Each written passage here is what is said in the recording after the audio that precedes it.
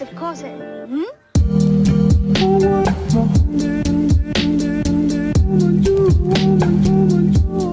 Hey everyone, my name is Jessica. Welcome back to my channel, or welcome if you are new here. So, um, you'll notice that it's a bit of a different layout, and that's because I'm sitting in front instead of standing in front of my bookshelf. But that's not what we're here to discuss. Today I'm going to be showing you all the books that I read in the months of September and October. The reason why I decided to change it up and have it um, have my wrap-ups together is because from September 15th to October 15th was Latinx Heritage Month and there were two readathons that I participated in. Um, if you remember my Latinx uh, readathon TBR video. Um, so it was going to cut in the middle and it was just going to be really weird for my wrap-ups. So I just decided to mash the two together. Um, was that a good idea? That remains to be seen. In the month of September, I read a total of eight books, and in the month of October, I read nine books. So overall, I read 17 books in two months. Not bad. Um, I actually hit a bit of a reading slump, so that's why I wasn't able to read as much of books as I wanted to, like finish my TBR. Honestly, I don't think I really came close to finishing my TBR. Anyway, let's just get on to the video. First, in September, I read Rogues Rushed In, and that is, um, it was two books it was like two novellas in mashed into one book and that was written by Tessa Dare and Christi Caldwell. The first book inside um, the duology, I guess. Um, his Bride for the Taking, and that was written by Tessa Dare. Uh, his Bride for the Taking is about a girl named Mary Clayton. She gets left at the altar um, on her wedding day, obviously. For To prevent her from like the scandal, her brother's best friend, Lord Sebastian Byrne, he steps up to the plate and he decides to marry her. Basically, Sebastian has like reservations about marrying her because he thinks that there should be like the bro code, I guess, um, and you should never try to do anything with your best friend's sibling. Yeah, the other novella inside the book is His Duchess for a Day by Christi Caldwell. This is about a woman named Elizabeth Terry. She works at like um, she works as a teacher inside like a finishing school and she's passing herself off as a widow because to be honest in the olden days you can't really do much if you were single or married and basically she's passing again she's passing herself off as a widow and she's trying to forget the marriage to her um, childhood best friend. But she is found by Crispin Ferguson who is the Duke of Harrington and also her husband. So he finds her basically to give her one request and that is to be like publicly act as his duchess for at least one day. So they were like childhood like best friends sweethearts and we find out like what happened what caused um, elizabeth to run away. I don't rate novellas and if my were uh, i love tessa dare so if i were uh, overall i think i give the duology like uh, 3.75 stars. Um, they were quick and easy reads. Uh, I just was starting, I felt myself getting into my reading slump. That's why I wasn't able to read them as quickly. So the next book that I finished in September was A Lesson in Thorns by Sierra Simone. I did a buddy read with this with Delaney, Sammy, and there was someone else in the group chat, Tay. He basically all read, like we finished it kind of in this, around the same time. Um, I gave this a four star. Uh, the reason why, I know a lot of people, first of all, I know there's like some controversy regarding the second book, um, but, and I know that a lot of people enjoyed it and they gave it five stars. The reason why I didn't give it five stars because like I found the ending very predictable. Like it did not surprise me at all. I didn't get shocked at all because of the ending, but I do plan on continuing on with this series. So are we Boo the Fool? Probably, but I want to know what happens. okay, so the next book that I read is Romancing the Duke by Tessa Dare. This is the first in the Castles Ever After series. This is about a girl named Isolde Ophelia Goodnight. Um, she is the daughter of a famous author who wrote about like fairy tales and knights and princesses. Her father wrote her as like the heroine of the series. So since she was like really little, as she grew up, a lot of people still saw her as like kind of a child. So things she found herself never really that she would never really have like a great romance because people continue to see her as a child. So she ends up inheriting a castle um, but when she goes to the castle she finds that there is someone already living there. For the most part does not he's like no this is my castle. So she tries to strike a bargain with him that way they can try to work something out with each other. I really enjoyed this book. I thought it was so cute. It's a four star. I haven't even rated it technically inside Goodreads, but I would give it a four star. It was really cute. Next up is the first book that I read for Latinx Heritage Month, and that is Sal and Gabby Break the Universe by Carlos Hernandez. Um, this is a middle grade book, um, and the author is Cuban. Carlos is Cuban, and um, so are Sal and Gabby. So this is about a boy named Sal. He moves to Florida with his stepmom and his um, father and he goes to the school where like the students are in like the arts um he sal is actually a magician so it starts off on his third day of school and he actually ends up getting for the third day in a row he goes he gets sent to the principal's office because apparently he had this like chicken this dead chicken um magicked no he from what the students had seen that he had magicked this raw chicken inside the school bully's um, locker. Here we meet Gabby. She's very ambitious, very smart. She is student council president. Uh, she is the editor of the school paper. She goes to the principal's office to be Yasmany, who is the bully,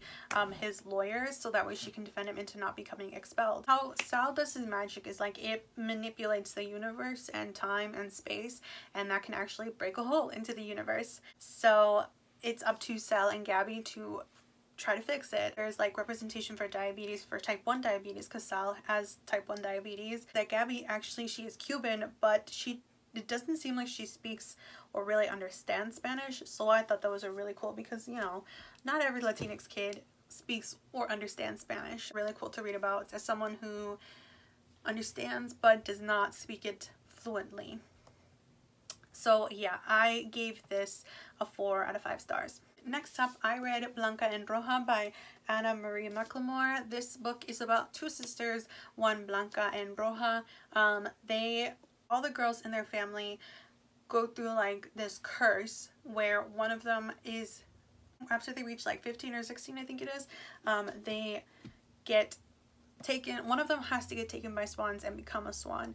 Blanca and roja don't want that to happen to them so they try to do whatever they can to trick the the swans into not choosing any of them along the way we also meet two boys who they are also drawn into what's going on and they become like important parts with the del cisne sisters blanca and roja deals a lot is like was a book that I have been looking forward to reading a lot.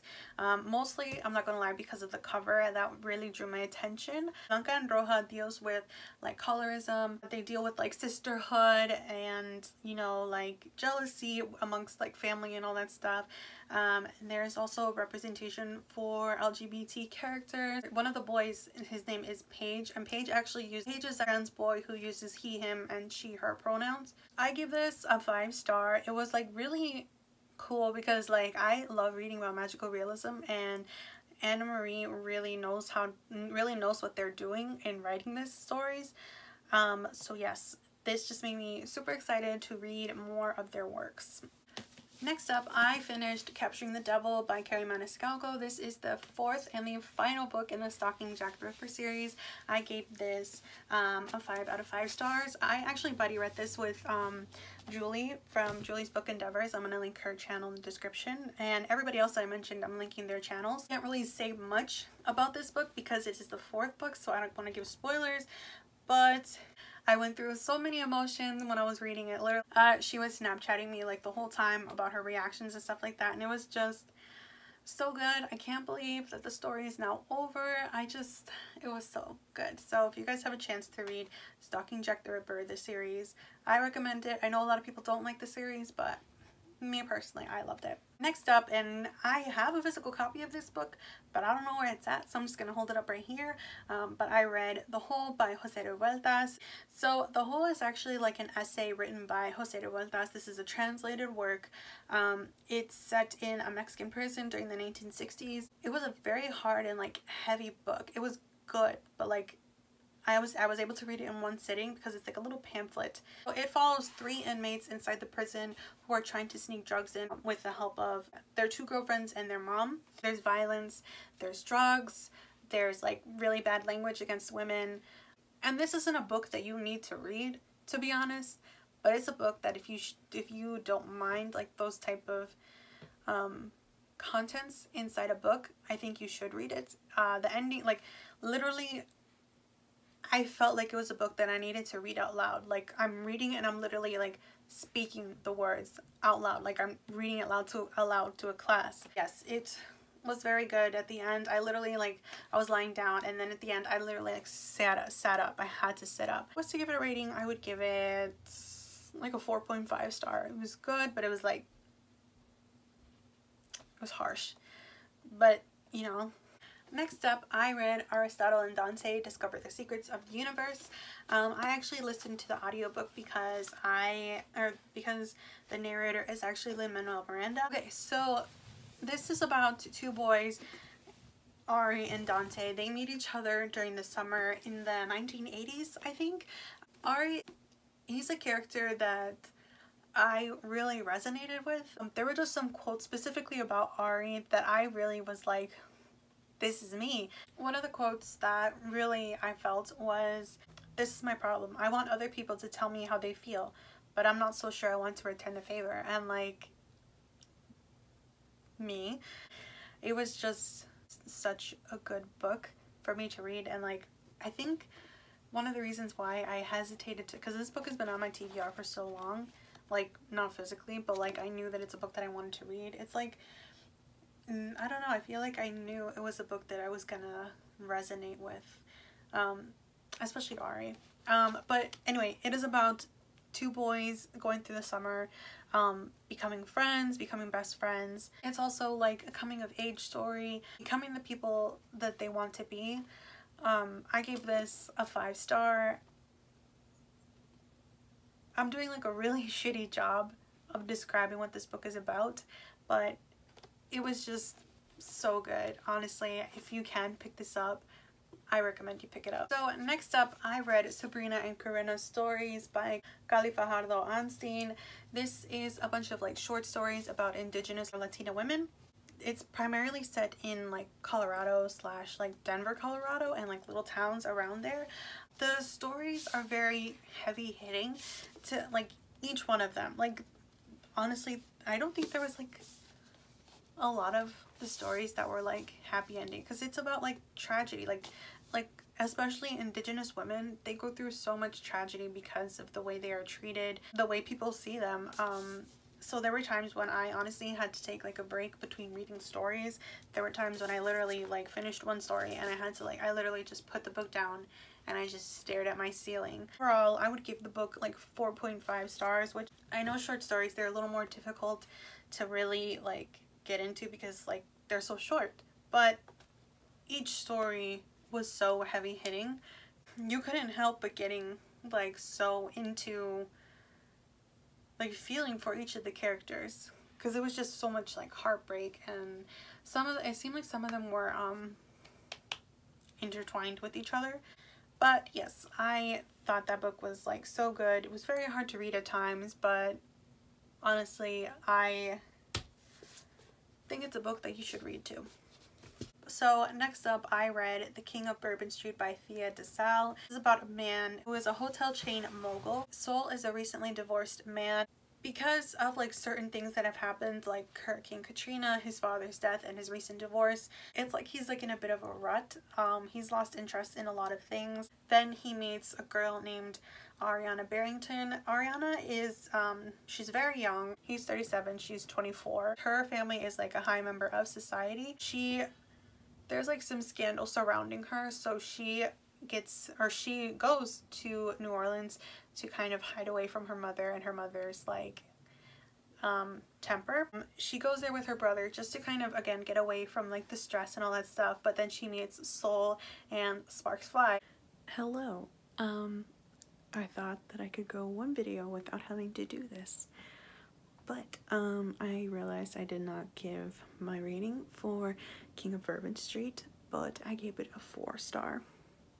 After reading King of Bourbon Street, I then read The Queen of Dauphine Street, which is the sequel to the series. Um, this one follows Maddie Rousseau, I think that's how you pronounce it. Um, she is the ex-wife of Sol. So Maddie is actually like this huge socialite. She is constantly followed by everything or by the media and everybody like pays attention to what she does. Even though she has all this attention and she can have like all these friends, she feels like she really has nobody that she can rely on. We then meet Darren Sander. He's from Texas. He's like extremely tall, very muscular. Darren actually has his ex-girlfriend stalking him um, to the point where it's like a danger to his life. He met Maddie because of like a mutual friend of theirs. Like they get along so well. She laughs at his corny jokes. Um, she they like had this really great sexual chemistry with each other. I gave this one also a 4 out of 5 stars. Um, honestly, I Darren was like this super suave but like in a boy next door kind of way. Maddie is just this this she's like a bad bitch okay she knows what she wants she has no problems with um, very aware of her sexual prowess really good honestly like at times it could it seems like it was this eh, not my favorite but it ended up becoming something that I really enjoyed reading. Next up, I read Lush Money by Angelina M. Lopez. This is about a, a woman named Roxanne Medina. She is a self-made billionaire um, and she always knows what she wants and she does whatever she can to um, get it and she actually wants a daughter uh, and to do that she actually she basically hire the Prince Mateo Ferdinand Juan Carlos de Esperanza y Santos and his country is very poor because of like his family um, they made very poor choices and his country ended up suffering up for it and ends up hiring him to become her husband and then three days out of the month they are going to try to get pregnant and have a baby. And in exchange for that, she's going to basically help him um, pay off his, the country's debts and to save his country. I ended up really feeling for Mateo. He, some of the things he would say, like I was just kind of swoon a little bit. He was kind of like, um, and some things Roxanne would do would kind of like annoy me, but at the same time, I understood why. Because grew up like really poor, so she doesn't want like her daughter to go through that. But it was like really good. I actually really, like I was going through the slump while in the middle of reading this. As I started reading it, I felt like the slump going away. So thankfully, thank you to Lush Money, I gave it a 4.5 star. Next up, I also have the physical copy, but I don't know where it's at. Um, so I'll just hold it up right here. I'll just put a picture up right here. But next I read Five Midnights by Ann Davila Cardinal. This is um, a book set in Puerto Rico. This group of friends who like before they turn 18 like they end up being killed by like some mysterious thing. a girl named Lupe she goes she's from Vermont and she goes to visit her family in Puerto Rico. Her uncle is actually one of the police who um, is in charge of finding, like trying to solve the case. And there she meets Javier. He is a friend of the boys who get murdered and he's trying to figure out what is causing the murders as well. This book actually has is like based off of the urban legend El Cuco or I say the Cucuy which if you guys don't know the El Cuco or Cucuy I'm gonna say Cucuy because that's what I grew up calling it. The Cucuy is used by Latinx mothers and family saying that if you don't behave the Cucuy is gonna get you. Honestly this book like freaks me out because like yeah it just played off of the childhood, like the fears you had as a child and what your family would tell you. I ended up giving this a four star. One thing I really, again, in my review, I wrote that this is kind of like weird to say, but one thing I really enjoyed reading about is the talks of, is like the the people from the island them talking about the tourism and how it's like bringing um how it's affected the islands and the people who live there and also the the, the increase in the drug addiction in like the island which obviously I'm not from Puerto Rico so I don't know a, the Latinx community because I am Latinx. Um I you see that there is a huge like increase in drug addiction like how it's also caused more drug mm, like more problems because of drugs and more gun more gang violence. I actually listened to the audiobook and it was pretty spooky. Um, it was good. I liked it a lot. Um, so I recommend you guys read it, especially during the Halloween season or spooky season. It just, especially the, it just, it just makes it better. Next up, I read Faker by Sarah Smith. Um, I ended up giving this a three star. I had a very high hopes for it. I thought, okay, so it's it's supposed to be like hate to love, but to be honest, I it really wasn't, which that's the problem with like hate to love. Like it's not always actually good hate to love. I had really high hopes for this. This is the author's debut book and it just did not seem it just wasn't what I wanted. The the reason why he was kind of an asshole was like not a good reason for me. It didn't justify what why he was being the way he was. And just some of the book just didn't seem so I'm not gonna lie, because of Faker, I ended up having like, I was like more wary about the next book that I read, but it ended up being for no reason because I ended up loving it. And that book is Bringing Down the Duke by Evie Dunmore. But I gave it a four star. I genuinely liked this. I wasn't sure if I was gonna like this because actually, you know what really drew my attention is the cover because it's like, it reminds me of the new adult covers, but this is actually historical. But this is actually historical romance. So yeah, I like this a lot and this is actually in a series so I can't wait for the next one. This is, I believe this is the author's debut novel though. But yeah, I really enjoyed it. Next up, I read ACOMAF, um, aka A Court of Mist and Fury by Sarah J Maas. This is Jocelyn and Julie's favorite book. I ended up really enjoying it. Um, literally in my review, I wrote, I would always hear people say that ACOMAF was their favorite book. And like, I get it because I do. Um, but this is the second book in the ACOTAR series. It follows Feyre in the aftermath of what happened in ACOTAR. I obviously cannot tell you everything, but the ending left me shook. I gave it a 5 on a 5 star. To be honest, it's more like a 4.5, but like, I gave it that half star. The last book that I read is Heidi's Guide to Four-Letter Words by Tara Sivec and Andi Arndt. This I ended up listening to the audiobook because it was available on Audible Escape. So Heidi used to be um, a kindergarten teacher, but then she was fired.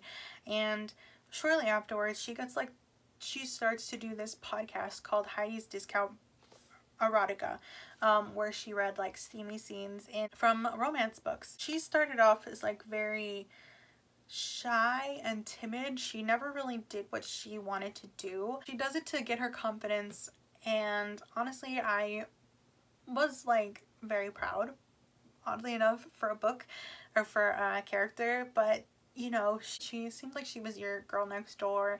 I gave this I would give this a 3.75. Um, it was really short and some of the things I got, this wasn't really it wasn't a book that I I don't know I don't know how to describe it but it was a 3.75 it was really cute and honestly very short to read um, which is no fault of theirs. It was just like a feel-good book.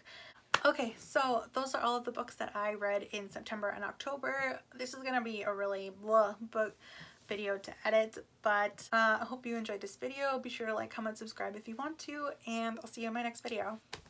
Bye